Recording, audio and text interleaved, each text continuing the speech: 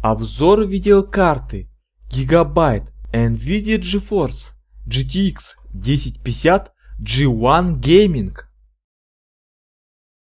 Привет, друзья! С вами сегодня Изет Смарт, и в этом видео мы рассмотрим обзор нашей видеокарты. Это у нас Gigabyte NVIDIA GeForce GTX 1050 G1 Gaming. Эту видеокарту я купил перед Новым годом со скидкой сгодится для игр. Мне нужно заменить видеокарту, которая у меня установлена. И мы сейчас рассмотрим, что за это у нас видеокарта. Продавец магазина мне сказал, что эта видеокарта осталась последней, на прилавке. Я не хотел покупать на прилавке, но продавец убедил меня, говорит, эта видеокарта всего лишь два дня стояла. У них также есть в других магазинах, но было далеко и было поздно уже. Я возвращался с работы уставший, я решил купить эту видеокарту. Цена его 10 тысяч рублей. Купил его со скидкой. 14% скидка была на эту видеокарту. Как будто бы здесь глаз трансформера. G1 Gaming. Именно здесь разгонный потенциал есть у этой видеокарты. Поэтому я решил его купить. Здесь у нас RGB Spectrum, WinForce, OS Edition, 2 гигабайта GDDR5. DirectX 12 поддержит, что отлично. Я хотел видеокарту. Моя видеокарта старая, она довольно старая. И ему уже 5 лет. 5 лет у меня AMD Radeon HD 6770. Поэтому я хотел бы его обновить на эту видеокарту. Я решил купить эту видеокарту. Что у нас здесь? Здесь у нас серийные номера. Посмотрим сверху. Здесь у нас сверху ничего нету. С обратной стороны. Здесь у нас два вентилятора Используется видеокарта GTX 1050, 2 гигабайта, полная поддержка Microsoft, DirectX 12 и OpenGL 4.5. Здесь у нас QR-код. Гарантию на эту видеокарту мне дали 3 года, что отлично. Вот такая красивая черная коробка у нас внутри. Мы обнаружили коробку из плотного картона. G1 Gaming. Как красиво эта коробка выглядит. Откроем нашу коробочку. Просто черная коробочка. Ничего примечательного. Открываем нашу коробочку. И что у нас здесь? Надежности добавляет и вспененная форма, в которой надежно зафиксирована наша видеокарта. Кроме того, здесь мы видим наличие антистатического пакета. Давайте извлечем нашу видеокарту. Вот такая у нас видео, видеокарта в антистатическом пакете. Давайте вот теперь мы уберем этот наш поролон. Вот такой у нас поролон. И что у нас здесь? Здесь у нас инструкция. Документация это наш с диском. Вот такая документация. Убираем.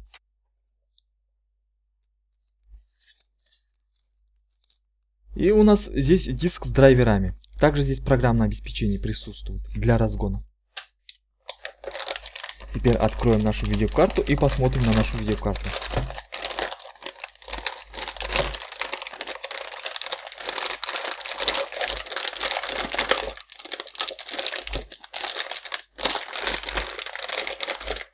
Вот такая у нас видеокарта, друзья. Как же он красиво выглядит. Ух ты. Отличная видеокарта. Пусть видеокарта и недорогая, но это никак не отражается на внешнем виде. Устройство смотрится ярко, стильно. Достигается это, это за счет детализированного кожуха и металлической пластины, а также благодаря сочетанию оранжевого с черным. Все разъемы защищены черными пластиковыми колпачками на торце, ориентированном к материнской плате. Можно отметить лишь декоративную оранжевую полоску. А вот со стороны, которая выходит на боковую панель корпуса, вы обнаружите две зоны с настраиваемой RGB подсветкой. Нужный цвет или эффект задаются через утилиту Extreme Gaming Engine. Также для подключения дополнительного питания на печатной плате имеется коннектор на 6 пина. Минимально рекомендуемая мощность блока питания составляет 300 Вт. Для придания видеокарте большей выразительности в плане дизайна Кожух снабжен всевозможными углублениями и вырезами. Интерфейсная панель лишена аналоговых выходов и довольствуется только цифровыми выходами, среди которых 3 HDMI, DisplayPort и DVI-D, при возможности одновременного подключения четырех мониторов посредством любых из приведенных интерфейсов. Это плохие новости для владельцев мониторов с VGA разъемами. Поддержка стандартов DirectX 12 OpenGL 4.5. Технологический процесс 14 нанометров. Видеокарта Gigabyte GeForce GTX 1050 G1 Gaming станет настоящим спасением, если вы хотите наделить обычный ПК свойствами игрового аппарата. Она подойдет для усовершенствования простых компьютеров, оборудованных маломощными блоками питания, обеспечив безболезненный переход. Подключение видеокарты происходит через PSI Express 3.0. Спецификации видеопамяти GDDR5 представлены ее объемом 2 ГБ, а также разрядностью шины 128 бит. Работа видеопроцессора наблюдается в диапазоне 1417 МГц 1556 МГц, что гарантирует хорошую отдачу. Стоит отметить наличие двух установленных вентиляторов, составляющих самостоятельную систему охлаждения видеокарты. Эта видеокарта довольно тихая, и его практически не слышно. Является самой недорогой представительницей архитектуры Паскаль. Именно такие видеокарты будут востребованы у населения. Рассматриваемая модель конкурирует с RX 460, который выпускается с разными объемами памяти 2 и 4 гигабайта. Несмотря на это, RX 460 предъявляет более высокие требования к блоку питанию. Единственный нюанс, который может отпугнуть от будущего апгрейда, это поддержка только цифровых интерфейсов для подключения монитора. VGA разъема в нем просто нету. Как бы то ни было, а в паре с процессором Intel Core i3, самой бюджетной материнской платой и блоком питания на 300 Вт, покупатель может рассчитывать на достойный уровень FPS при Full HD разрешении. А это, согласитесь, друзья, это уже немало. В числе прочих выделяется G1 Gaming, который предоставляет собой компромисс между бюджетной линейкой и более продвинутой Extreme Gaming. Таким образом, компания старается охватить как можно больше круг покупателей, предлагая в пределах одного графического чипа массу моделей. Несмотря на то, что видеокарты стали, стали греться меньше, система охлаждения по-прежнему остается в приоритете. Производители сосредоточились на улучшении шумовых характеристик и во многих моделях присутствует полупассивный режим, когда при малых нагрузках вентилятор прекращает вращение. Графический ускоритель Gigabyte GTX 1050 G1 Gaming также снабжен этой опцией. В центре расположен графический процессор GP107 выполнены по техпроцессу 14 нанометров. Данный ГПУ включает в себя 640 шейдерных процессоров, 40 блоков текстуризации и 32 блока растеризации. В режиме покоя температура опустилась до 41 градуса, а под нагрузкой не превысила 62 градуса. Что же до уровня шума, то при малых нагрузках видеокарта останавливает вентиляторы и не издает ни звука. Под нагрузкой ситуация не меняется, видеокарта работает абсолютно тихо. Кроме того, никаких посторонних шумов наподобие писка дросселей выявлено не было. Заслуга здесь не только в эффективности системы охлаждения WindForce, но также в очень низком потреблении и нагреве со стороны графического чипа. Несмотря на более высокую стоимость по сравнению с другими моделями на базе такого же типа, Рассматриваемая видеокарта G1 Gaming обладает рядом преимуществ. В наиболее бюджетных версиях охлаждения организовано в виде алюминиевого брусочка, который продувается одним вентилятором.